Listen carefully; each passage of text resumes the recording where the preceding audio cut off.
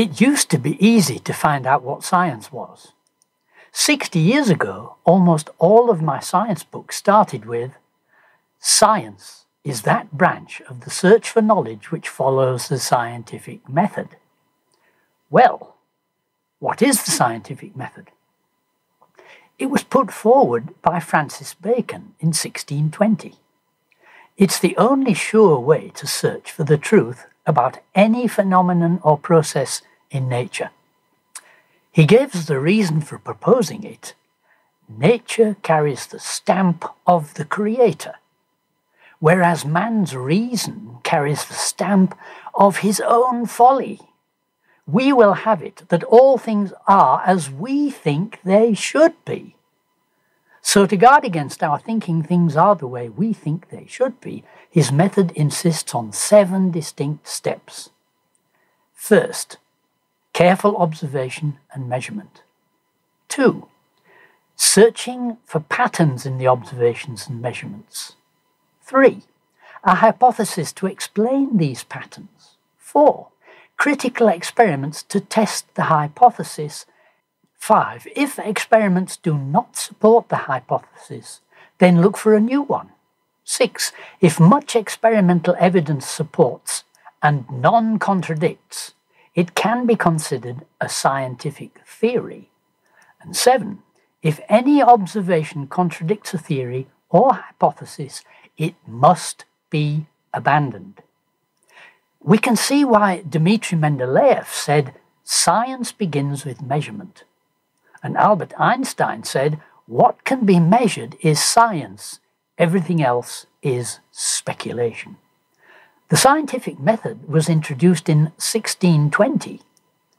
Does that mean that there was no science before that time? Well, there was a deficient kind of proto science, and perhaps the most famous example was in ancient Greece. But there was a reason why they couldn't do real science. They had a pantheon of gods and goddesses who sometimes quarrelled among themselves. They sometimes had affairs with handsome heroes or fair damsels, and they got involved with the creation in capricious ways.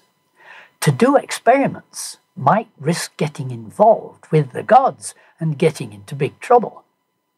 The Greeks made observations and measurements. They made hypotheses to explain the observations, but they did not do experiments to test them. Pythagoras put forward a hypothesis about the notes ringing from hammers of various weights. The hypothesis was wrong, but he never found out because he never did an experiment to test it. Aristotle, perhaps the greatest philosopher of all time, proposed a system of physics which was believed for about 2,000 years. His physics was taught in all the universities of Europe until the Reformation when the scientific method was introduced.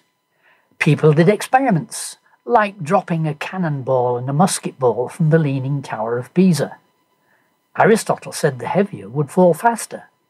They both fell at the same speed. Science proved that Greek proto-science was a failure.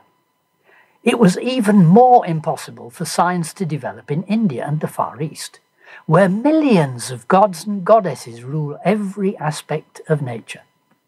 Mathematics developed there, but to expect unchanging natural laws would be utterly illogical. So there was no chance of science developing in the Far East, and science couldn't develop in Africa. To the people of Africa, nature was ruled by spirits, and the spirits were conjured by witches and witch doctors. To expect that things would be the same in one village as in another would be unthinkable. There were different spirits in each village, and those spirits were conjured by different witches and witch doctors. One might have thought that science could develop among the Muslims, since they had only one God. But Allah is unpredictable. He can suddenly decide to do something new or different any time he chooses. Again, universal, unchanging laws of nature wouldn't be expected. The Muslims made some progress in mathematics, just like the Greeks and the Indians. They also preserved Greek proto science taken from the great library of Alexandria before burning it to the ground, but they made very little advance themselves. In fact, it was only under the Judeo Christian worldview that science could ever come about. At the time of the Reformation, the printing press was invented. The prime use of Gutenberg's press was to print the Bible. People read the Bible and wanted to know more about the God they found there. They read of a reasonable God. Come now, and let us reason together, says the Lord.